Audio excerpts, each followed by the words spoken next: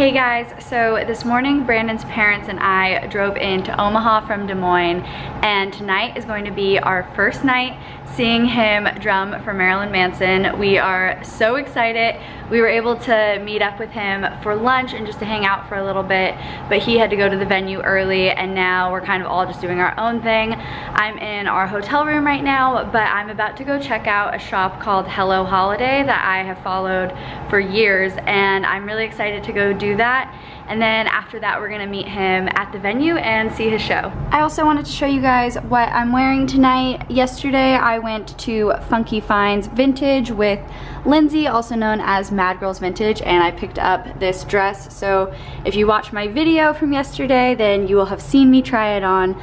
But yeah, I'm really loving it. It is kind of cold and rainy, so I had to wear my jacket with it, but I tied it so that you can see these cute details on the pockets. And then also it's on a big open field, so I had to wear tennis shoes.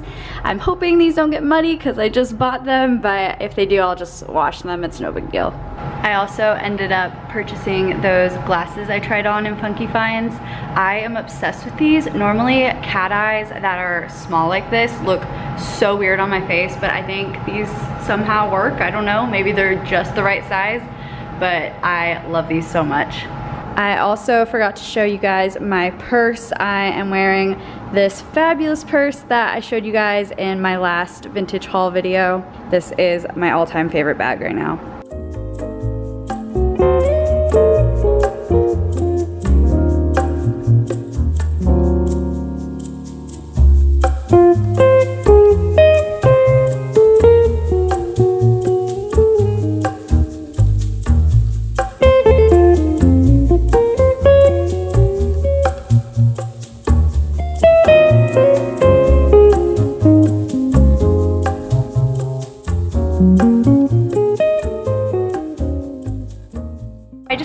Hello Holiday and I picked up two items there. First item is this really cute hair clip and I got that for only six bucks and I think that is so cute and I'll wear this all the time. And the second item is this bag. I realized while I was out shopping holding the purse I'm wearing that I did not want to lug that around a show. I don't know what I was thinking bringing that bag.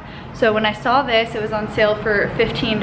I got really excited because it's kind of similar in style to the purse I showed you earlier and it will be more comfortable to have like on my shoulder all night rather than to be holding something. So I think I'm gonna be using this tonight and also maybe the next couple shows we go to. Now I'm gonna head to a restaurant called Modern Love with Brandon's parents. This restaurant is all vegan and it was on my list of things I wanted to do while I was here, but we did eat kind of a late filling lunch, so I'm not too hungry, but I at least wanna get an appetizer just to check it out.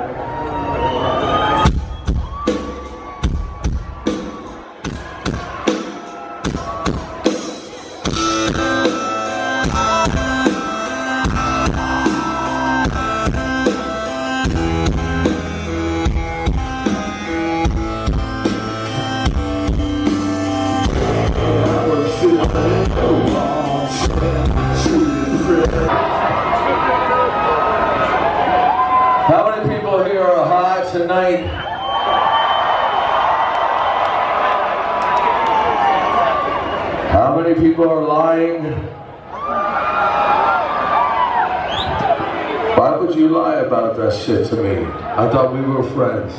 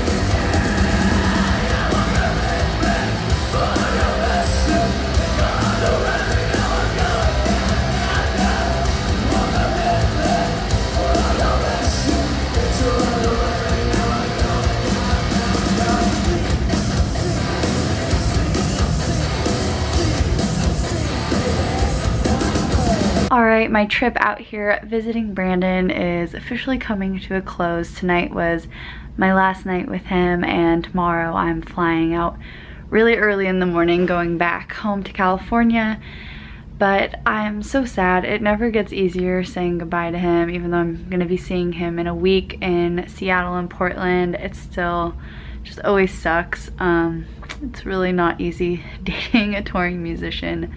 But on a happier note, next week when I see him, my vlogs should be a lot more exciting than this one. I did still want to document this trip just because I love having these for memories and stuff, but I know it was a lot of just eating at places like Olive Garden and Red Robin, which is awesome because there are vegan options at those places. So wherever you go there is usually something which is great um, but yeah that this trip was a lot of that kind of thing because we were on a road trip and in states that are not extremely vegan friendly um, but yeah, next week should be really fun. I cannot wait to come out and visit him again. Thanks so much for watching this video. I hope you guys enjoyed seeing him play with Marilyn Manson. It was very exciting for me and his parents to watch and we're all just so proud of him. Alright guys, I'll see you in my next video. Thanks again for following along on my Marilyn Manson road trip journeys.